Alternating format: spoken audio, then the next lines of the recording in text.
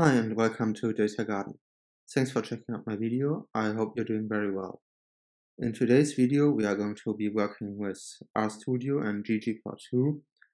And our output that we want to create is a plot of this type, where we have two line plots uh, in different colors and each with their dots for the unique observations as well. So they share an x-axis and they also share a y-axis but we have two series in one plot so that we can compare them graphically. The dataset that we will be working with is a Longley dataset, which is already part of RStudio or the base R datasets. So let's get right into it and create a new file. Select new file, rscript, and the first thing we want to do is uh, load ggplot2 so that we can work with it later. So we use uh, library ggplot2. And the next, uh, next thing we want to do is we want to load the data set. So that is data, Longley, and it's this first one here. Press load, and then we are going to open the data set with the view command. So that's view, Longley, press run, and there we have it. It's a pretty small data set, and it basically shows like roughly speaking, um, economic data of the United States for the years 1947 to 1962. Now, uh, if you want to work with this data set, I encourage you to be a little bit careful because uh, I couldn't find a proper description of all the data. The column names are, I think, pretty self um, explanatory, but it seems like the um, the amount in which the measurements are taken are different for each column. For example, here the a unemployed data. Um, it says 60.323, but the unemployed says 235.6. But clearly, it cannot be that the unemployed is higher than, uh, than the employed. So uh, it must be taken in a different uh, measurement amount. Um, anyway, in this case, we want to use purely uh, graphical re uh, representation as an example, and we don't really want to interpret the data. But I think if we use the fields armed forces and unemployed for our analysis, then we see that they apparently have the same um, style of measurement, so we can compare them quite well. And as we will see, to come back to the plots that I have already prepared here, it looks like there's actually a correlation between the two, a negative correlation where if the armed forces are rising, the unemployment uh, number is uh, declining and vice versa. So that's why I have selected these two columns for this uh, graphical representation. So what I'm going to do now is I'm going to uh, clear this plot so that we don't see it anymore and then we're going to re recreate it one by one. So let's get back to our script and create a new ggplot. So we use command ggplot and normally if you would want to create a plot with just one line, you could do it where you select in this command data equals Longley, comma, mapping equals whatever. And in this case, we can actually, uh, we could start with this, but I think an easier way that um, will make more clear what we're doing here is if we just delete all of this and leave this command completely empty. And what we're going to do now is we're going to add uh, multiple plots, multiple uh, geoms, as it's called in ggplot, to this base. So we're just going to continue with a plus after the empty brackets, and we're going to get into the next line, and we're going to create a geom line.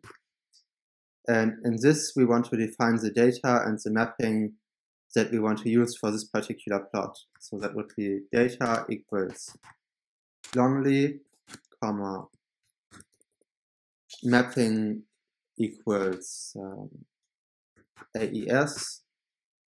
X is defined as the year and Y is defined as mm, armed dot forces.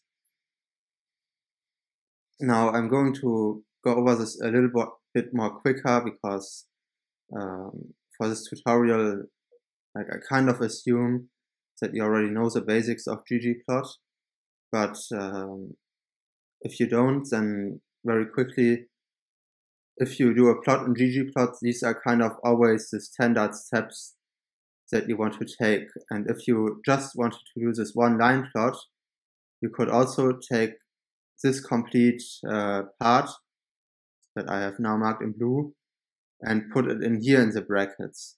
But since we want to do multiple plots with different mapping, we will have to do it like this, where we define the mapping in each single plot. So, um, yeah, this is already for the start. And let's actually see what happens if we just let it run like this.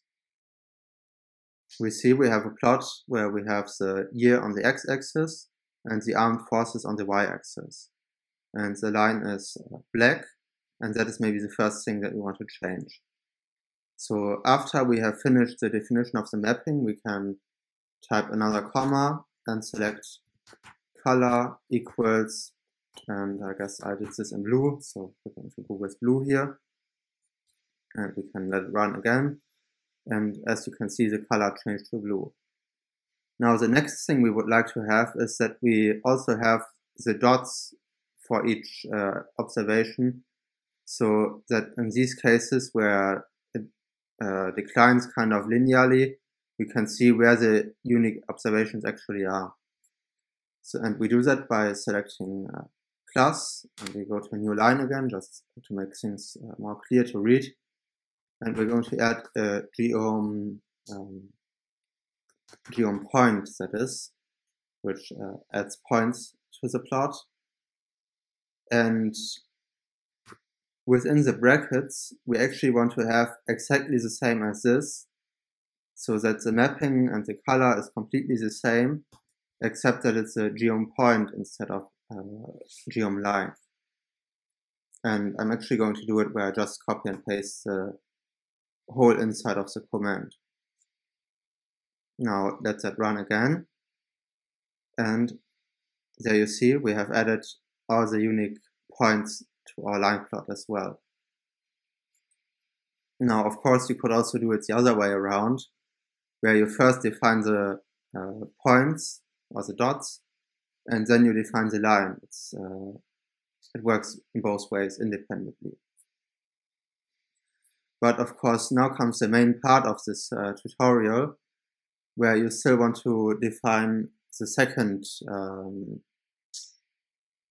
group of data, and that is the unemployment rate. So we do another plus, and we basically do the same thing as we did for the armed forces, where we first create a line plot, and then a, a point or dot plot.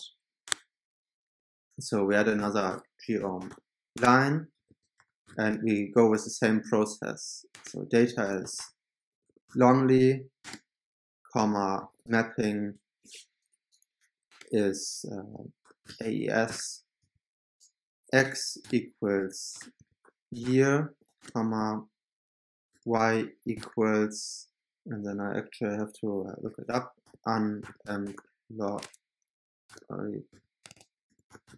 like this. And the color should be, let's say, orange. And let's run again. And, oh, kind of forgot uh, to define the color here. That's what we define. And there we have it with the second line, but what is still missing are the dots. And so we uh, create them by the same scheme as before with plus geom uh, point. And once again, we copy paste the inside of the command from the line plot. And uh, press run. And there we have it. Now the only thing that is kind of missing is that we change the title of the y-axis because here it just says armed forces, but that's not what it is. The blue line is the armed forces, the orange line is the unemployment. And how we do that is with the labs command in ggplot. So we add another element with a plus, and we call it um, labs. And we have to define the x uh, label as well. So that would be x equals year, comma y equals um, armed forces blue comma um, unemployment orange. And let's uh, let's run this one more time. And there we have it. We're done. I think we can also add a main title if we want. So that would, I think, be main equals uh, armed forces and unemployment in the USA. And uh, doesn't do anything. That's how this was uh, title instead of main. Sorry for that. And then we have also added our main title. Now, in this case, you can slightly simplify this command by adding, like removing the data part from each of these and putting it in here. And you can also um, extract the mapping part from this command and put it in here so that you only define the mapping for the y-axis inside each command. However, if you do it in the way that I've shown here, then you could potentially also have um, also combine uh, plots from multiple data frames inside one plot if you want. And um, yeah, they don't even have to be in the same data frame. That's why I wanted to show it to you in this way, uh, even though it does not apply to this data. Now, I think you will agree with me that it's quite a nice and readable plot and quite simple to do. So I hope that you found this little trick of how to combine multiple lines and uh, dot plots in one plot helpful. If you have, then uh, I would be happy if you gave this video a thumbs up. If you want to see more videos about RStudio and about ggplot, then consider subscribing to the channel because I have more similar content coming up very soon. And finally, if you have any questions regarding this topic, then uh, leave them down below in the comments and I will uh, make sure to come back to you. Thanks for watching and bye bye.